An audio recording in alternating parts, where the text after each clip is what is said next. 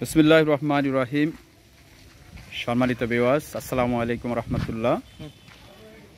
আমরা এখন অবস্থান করছি ফ্রুটস ব্লে এক গ্রুপ প্রকল্প আর সাহাতলি।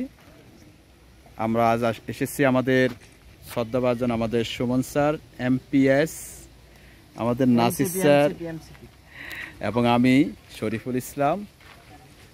মূলত এখানে এর আগেও এসেছি। আজকেও আসলাম। আসলে জায়গাটা যতবারই দেখি ততই ভালো লাগে। যার কারণে মনের টানে আবারও চলে এসেছি। যদিও আগে ফ্রি এখানে প্রবেশ করার অনুমতি ছিল, কিন্তু এখন ফ্রি নাই। এখন পঞ্চাশ টাকা করে এই প্রবেশ মূল্য প্রদান করে আমাদেরকে এখন এন্ট্রি করার সুযোগ দেওয়া হয়েছে। তা আমাদের সুমন স্যার কিন্তু সামনে এগিয়ে যাচ্ছে এবং নাসির স্যারও এগিয়ে যাচ্ছে। কোনো কথা নাই, সায় নাই, তারা চলে যাচ্ছে আমাকে ফালাই।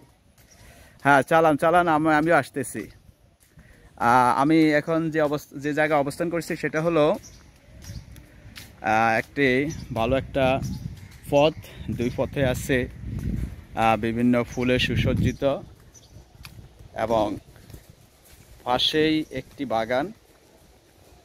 যে বাগানটা আমরা সবাই জানি, এটা ড্রাগন ফলের বাগান। ভালো একটা প্রজাতির। এবং এখানে আছে একটা এটাকে বলা হয় ইয়া ফল এক ধরনের ফল যেটা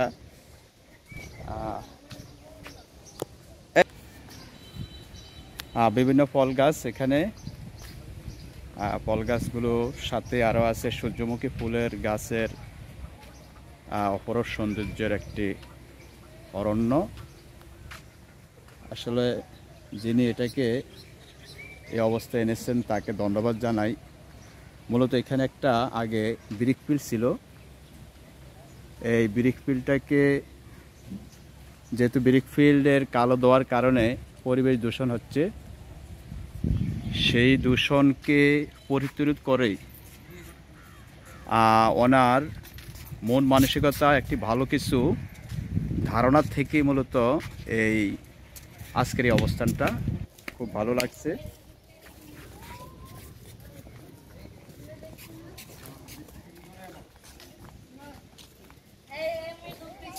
এগ্রো ফুটবেলি আর সাহাতলি।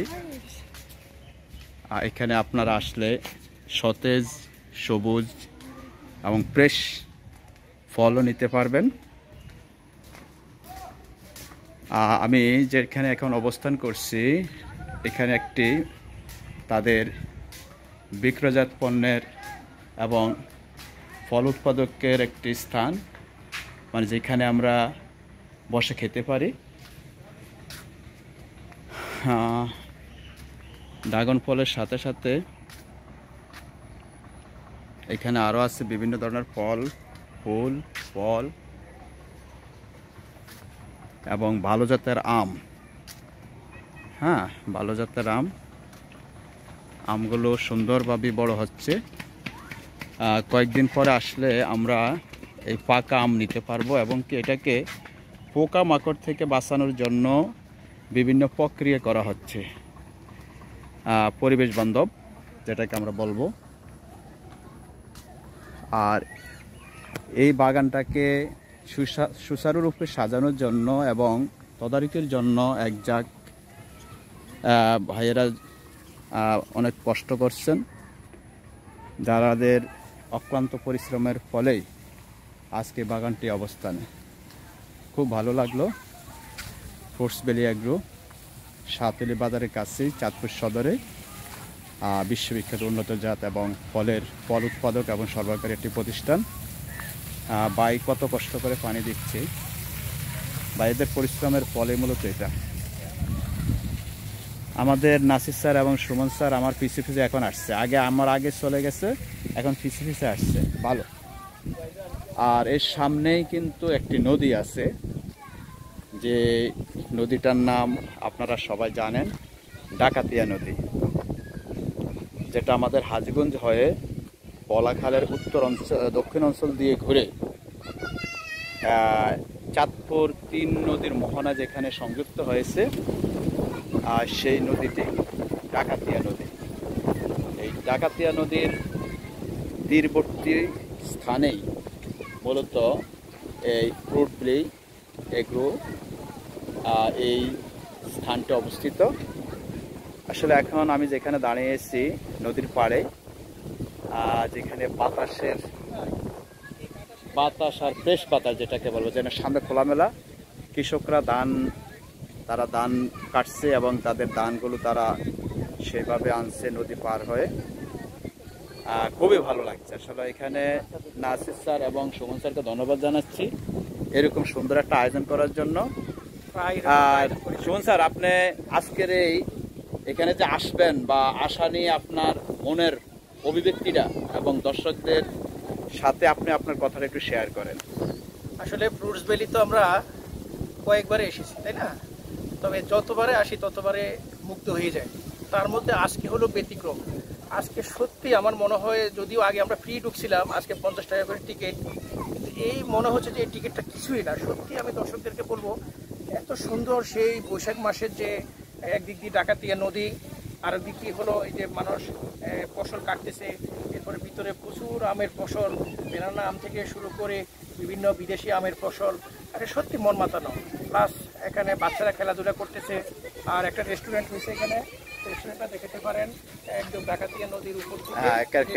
হ্যাঁ। এবং ভালো মানের খাবারও পাওয়া যায়।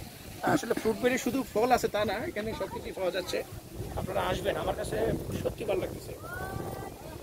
ধন্যবাদ সুমন স্যারকে সুন্দরভাবে দর্শকদের উদ্দেশ্যে দুটি কথা বলার জন্য। নাসির স্যার, আপনি তো ইতিমধ্যে সেলফি গুরুর দায়িত্বে বা সেলফি গুরুর পদবি পেয়ে গেছেন, যেটা আমাদের বাতন স্যারের কাছে ছিল। সেটা এখন আমাদের নাসির স্যারের কাছে চলে এসেছে। নাসির স্যার, আপনি ফ্রুটবেলি সম্পর্কে একটু দর্শকদের উদ্দেশ্যে কিছু বলুন। সালামু আলাইকুম।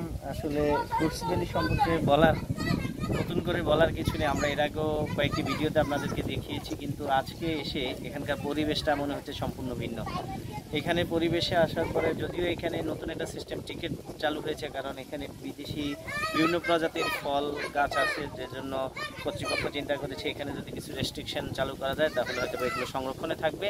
আর এখান থেকে আপনারা যদি কোরবানি অর্থাৎ ঈদুল আজহার সময় আসেন তাহলে এখানে একবারে আমটা হ্যাঁ আমটা বিশেষ করে আমটা। ফল দিতে পারবেন। আর এখানে সবচেয়ে আজকে যে জিনিসটা একটু ভিন্ন রকম মনে হলো, নদীর পাশে, বাতাসটা অনেক বেশি। এবং আপনার সারাদিনে যে গরম অনুভূত হচ্ছে এখানে আসার পরে মনে হচ্ছে যে একবারে ফ্রেশ বাতাস আল্লাহ তালার অপরূপ সৃষ্টি আপনি এখানে না আসলে বুঝবেন না।